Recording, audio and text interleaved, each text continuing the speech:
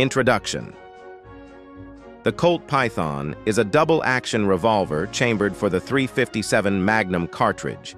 It was first introduced in 1955 by the Colt's Manufacturing Company. Pythons have a reputation for accuracy, smooth trigger pull, and a tight cylinder lockup.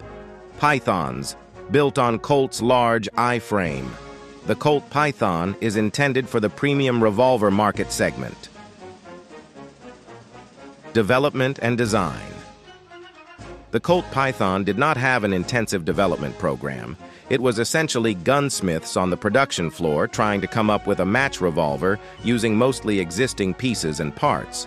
And what they created was one of the finest-looking handguns ever made. The Colt Python was first introduced in 1955 as Colt's top-of-the-line model and was originally intended to be a large-frame 38 special target revolver. As a result, it features precision adjustable sights, a smooth trigger, solid construction, and extra metal.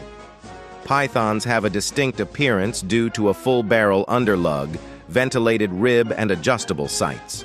Colt revolver cylinders rotate clockwise compared to counterclockwise of other revolvers, like Smith & Wesson or Ruger. When the revolver is at full cock, just as the trigger is pressed, the cylinder locks up for the duration of the hammer strike. As you press the trigger, the cylinder moves into lockup by the hand, and it is locked tightly.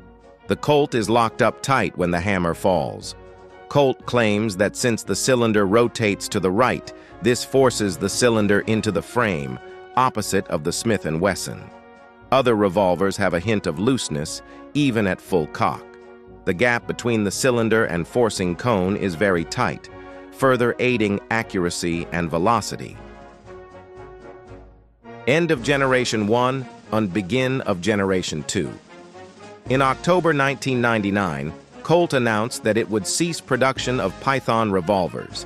First-generation Colt Pythons had a higher cost due to the hand fitting by gunsmith specialists that were required due to the variations that came from that era's limited capabilities with regards to the mass production and machining of precision steel parts.